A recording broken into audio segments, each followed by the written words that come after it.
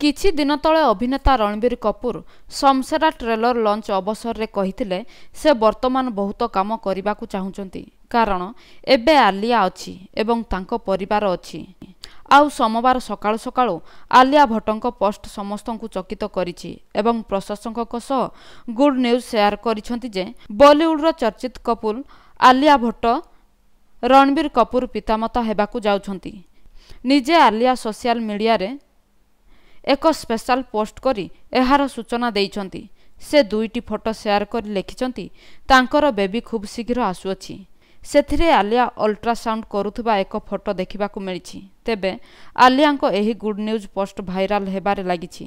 ପ୍ରଶଂସକଙ୍କ ସହ ସେଲିବ୍ରିଟିମାନେ ଦମ୍ପତିଙ୍କୁ ଶୁଭେଚ୍ଛା ଜଣାଇବାରେ ଲାଗିଛନ୍ତି। ଆଲିଆ ରଣବୀର ଚଳିତ ବର୍ଷ ଚଉଦ ଏପ୍ରିଲକୁ ବିବାହ ବନ୍ଧନରେ ବାନ୍ଧି ହୋଇଥିଲେ। ବିବାହର ମାତ୍ର ଦୁଇ ମାସ ପରେ ଗୁଡ୍ ନ୍ୟୁଜ୍ ସେୟାର କରି ସମସ୍ତଙ୍କୁ ଆଚମ୍ବିତ କରିଛନ୍ତି। ବର୍ତ୍ତମାନ ଆଲିଆ ତାଙ୍କ ହଲିଉଡ୍ ଫିଲ୍ମର ସୁଟିଂରେ ବ୍ୟସ୍ତ ଥିବାବେଳେ ରଣବୀର କପୁର ତାଙ୍କର କେତେଗୁଡ଼ିଏ ଫିଲ୍ମର ସୁଟିଂକୁ ପୂରା କରୁଛନ୍ତି।